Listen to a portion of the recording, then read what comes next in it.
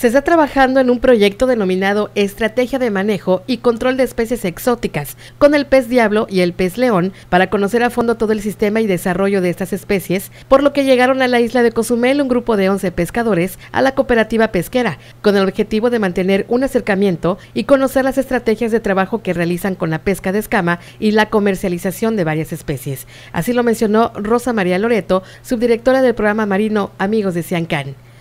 Pues ahorita la actividad eh, tuvimos, tenemos el apoyo de, una alianza que hay entre WWF y la Fundación Carlos Slim, que nos apoya para, para un proyecto llamado Estrategia de Control y Manejo de Especies Exóticas, que incluye el pez diablo, que es un asunto que hay en el río Hondo, y, en este, y el pez león, ¿no? que es un tema que, de una especie exótica invasora en, el, en las aguas del Caribe desde el 2009 la, oportunidad de venir a visitar a la cooperativa de Cozumel, a, la Sociedad Cooperativa de Cozumel, con un grupo de 11 pescadores que, de tres cooperativas que están en Banco Chinchorro, con la intención de que ellos tengan un acercamiento respecto a, pues, al trabajo que hacen en, en, su pesca de escama, etcétera, pero también enfocado al, al, buen ejemplo que tiene la cooperativa de Cozumel para la comercialización del pez león.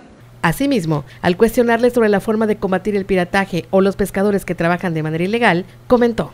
No tendría yo información al respecto porque nosotros somos una organización no gubernamental. Yo creo que que corresponde mejor información para la dirección de Banco Chinchorro. No, no, eh, no, no podría dar la información porque no la manejo, ¿no?